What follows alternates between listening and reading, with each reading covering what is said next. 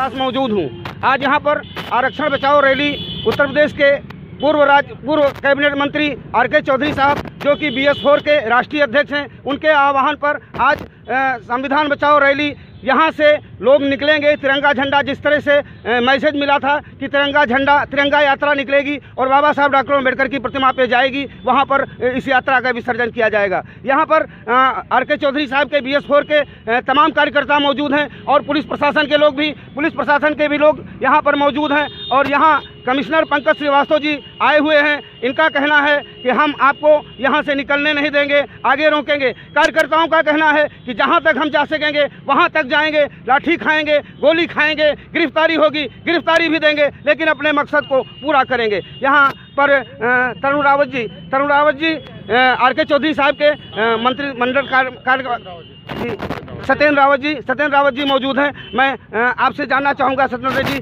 आपका आज का कार्यक्रम क्या है?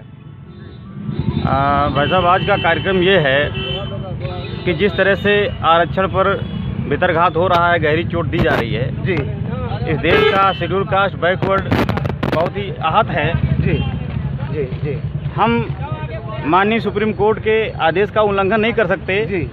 लेकिन हम अपनी आवाज़ तो बुलंद कर ही सकते। हैं। सरकारों के सामने जी। क्योंकि जिस तरह से हमारा आरक्षण खत्म किया जा रहा है चाहे सरकारों के माध्यम से चाहे माननीय न्यायालय के माध्यम से ये हम लोगों के ऊपर एक बड़ा झटका है।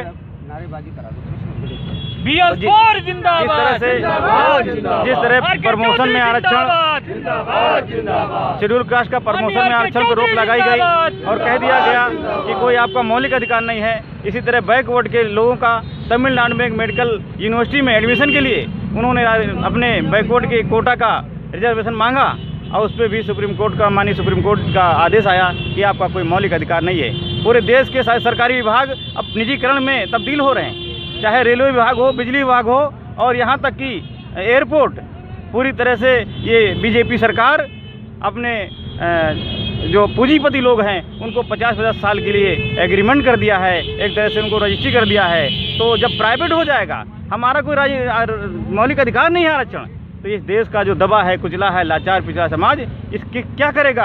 ये अगर आज थोड़ा सा तरक्की की दिशा में दिखाई पड़ा है। लेकिन आपको तो मानना है कि संविधान जो है आ, आपको जो आरक्षण है वो संवैधानिक अधिकार है।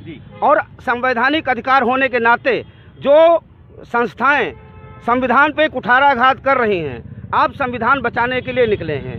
आप संविधान बचाने के लिए निकले हैं। आप चाहते हैं कि भारत का संविधान लागू रहे बचा रहे सुरक्षित रहे सरकारें उसी के अनुरूप कार्य करें। सत्येंद्र जी, जी, जी, आज जी। आपका लक्ष्य इतना है। जी, आप लोग रैली निकाल के कोई ज्ञापन वगैरह देंगे कहीं? इस इस जो कार्यक्रम हो रहा है एक संगठन यही है।